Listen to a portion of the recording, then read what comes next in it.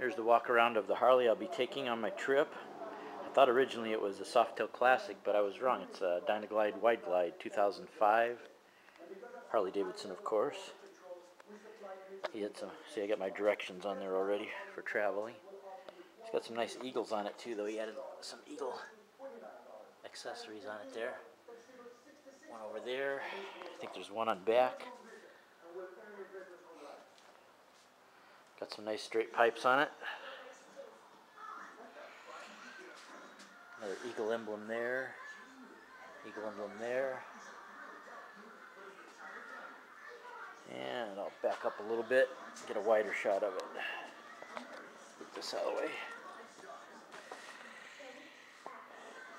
Of course, got the mini ape hanger bars, which I do like those. If I'm riding a bike for distance, I always like the mini ape hangers.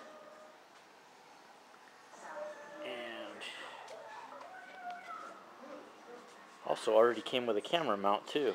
Isn't that kind of cool? Already had a RAM mount.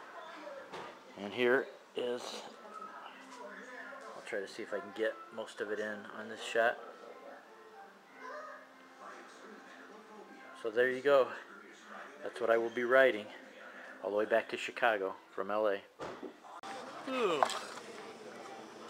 So I'm in Los Angeles. It's 1:18 in the morning, Chicago time, which would be what 11:18 LA time. Um, uh, do you have cheese fries? Uh, no, uh, we add cheese like twice the, the cheese to French fries whenever somebody wants cheese fries. So you do put melt cheese on them? Yeah, uh, the best cheese is yeah, two sizes of cheddar cheese. Oh, feta cheese? Uh, cheddar, cheddar cheese. Oh yeah, yeah. Cheddar. Okay. Yeah, can I get that? dude? Uh-huh, so the French fries and so the two che- cheddars. Okay, that's okay. That's all for right now. Yeah, he wants. Can I get a platter of onion rings? Mm-hmm. Then onion rings. Yeah, Yeah. that's a platter. Mhm. I like onion rings.